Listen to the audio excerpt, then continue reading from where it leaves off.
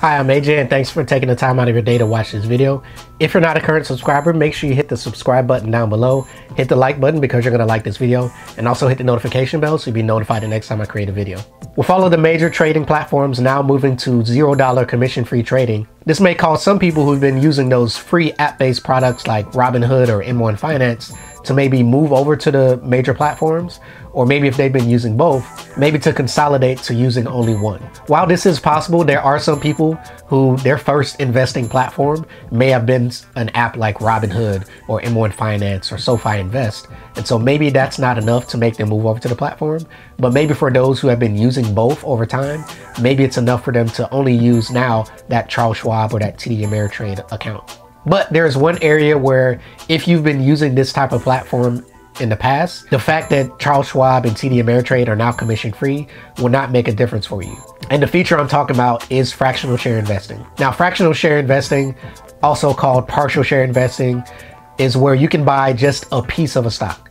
So let's say you wanted to buy a company like Apple, their stock is over $200 and you only have $20 and you really want to invest in Apple, you want to buy that one share. But in order for you to invest, you'd have to build up to get at least $200 just to buy one share. This is where a fractional share investing platform works best for you. Now, as far as I know, none of the big name major investing platforms, including Charles Schwab, E-Trade, TD Ameritrade, Fidelity, none of those platforms actually allow you to buy a partial share. So to use a higher price stock to make my point, if you wanted to invest in Amazon right now, which is nearly $2,000 per share, you would need to have at least $2,000 to buy just one share of Amazon. And so let's say you only had $100 that you could invest every month. That's the only money that you can invest based on your budget. And you wanted to save that $100 every month so that you could eventually be able to afford to buy Amazon. At its current price of nearly $2,000, you would have to save for 20 months. That's nearly two years of saving $100 a month where you're not even actually invested in Amazon. You have that money hopefully in a high yield savings account, but maybe you don't. Maybe you have it in your checking account. But if you do have it in a high yield savings account, maybe you're getting 2% or maybe closer to 1% since interest rates are actually moving down at the current moment. So if you have to wait 20 months, almost two years, just to be able to afford one share of Amazon, and not to mention that a year from now, or almost two years from now, Amazon stock could be $3,000 for one share. And so you could potentially be chasing Amazon for the rest of your life if you only saved that $100 and waited until you could afford to buy one share. Now, this is a more extreme example, and there are different ways that the company could actually make their stock cheaper. Uh, using Apple as an example, just a few years ago, I believe in 2014, they had a stock split where they split the price of their stock by seven. It was a seven to one stock split.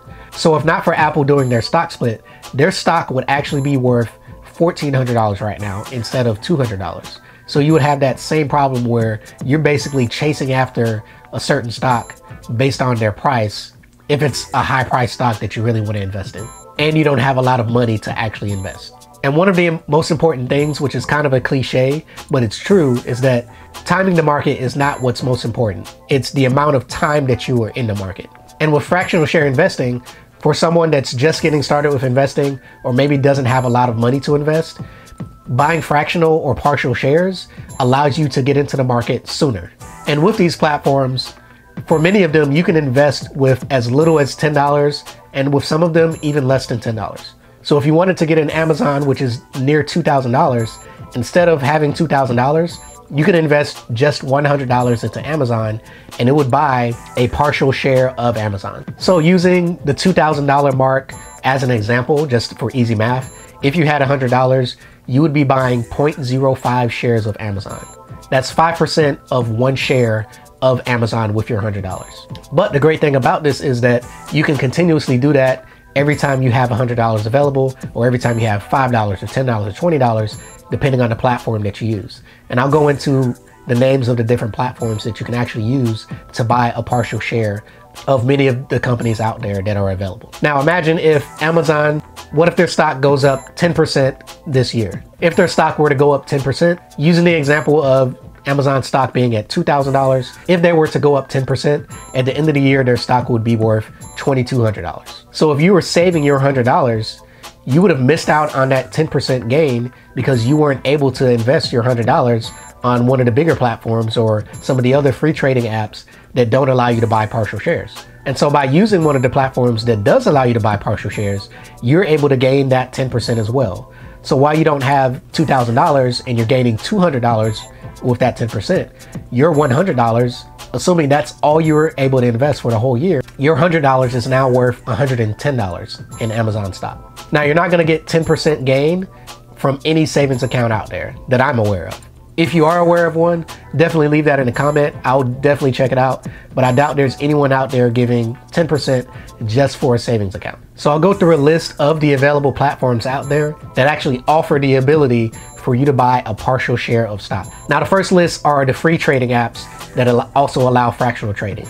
And that would include M1 Finance, which is one of my favorite platforms to use, Public, formerly known as Matador, and SoFi Invest. Now, with all of the platforms, you may not have access to every stock that's publicly available, but most of the big names that you would think of, like an Amazon or an Apple, those are usually available on those platforms. Now, there are three others that do currently charge a fee, and those would be Motif, Folio First, and Stockpile. But I would imagine if you saw my previous video, with those bigger platforms now not charging fees, they no longer have a commission for their trades. I would assume that these three platforms will soon be free as well. But in order to continue to compete with all of these platforms offering free trading, I would imagine that sometime soon, those three platforms will provide free trading as well. Now, one that I forgot to mention is StockTwits. They actually released their app during this past week when there was the announcements of all of the bigger platforms having free trading. They released their app on Apple iOS so it's actually available for download now, although you may have to join the waiting list in order to get it. But with the StockTwits app, which is actually called Trade App, they have free investing and they also have fractional share investing. So make sure you check that out. I'll have a link in the description so you can join the waiting list if you would like to.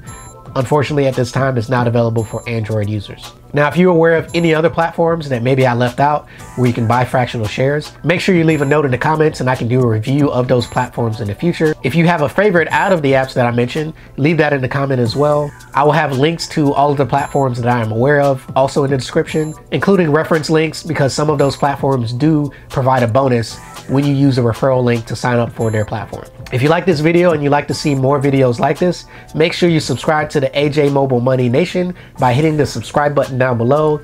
Hit the like button because you really like this video and also hit the notification bell so you'll be notified the next time I create a video. Again, thanks for watching. Guys, have a great day.